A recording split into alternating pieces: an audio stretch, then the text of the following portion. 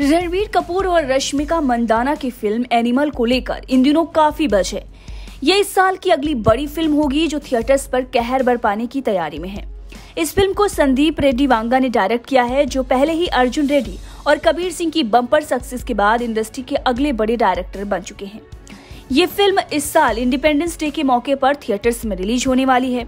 अब इसी बीच नब्बे के दशक के सुपरस्टार सनी देओल की अपकमिंग फ़िल्म गदर टू को लेकर भी एक दिलचस्प जानकारी सामने आ रही है। जी हाँ मीडिया रिपोर्ट्स की माने तो साल 2023 के इंडिपेंडेंस डे के दिन बॉक्स ऑफ़िस पर रणबीर कपूर वर्सेस सनी देओल होने वाला है। रिपोर्ट के मुताबिक सनी देओल और अमीषा पटेल की फ़िल्म गदर टू भी इस साल अगस्त महीने में इंडिपेंडेंस डे के मौके पर ही थिएटर पहुंचेगी। गदर टू भी 11 अगस्त 2023 को ही रिलीज़ हो रही है।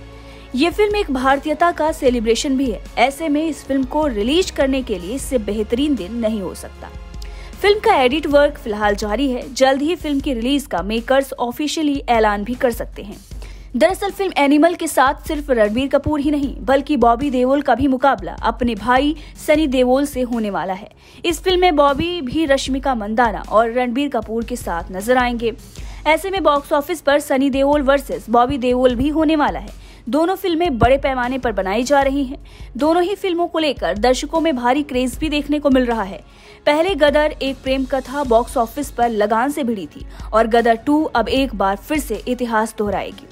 गदर के पहले पार्ट ने बॉक्स ऑफ़िस पर रिकॉर्ड तोड़ बिज़नेस किया था। बच्चा बच्चा इस फ़िल्म का दीवाना है।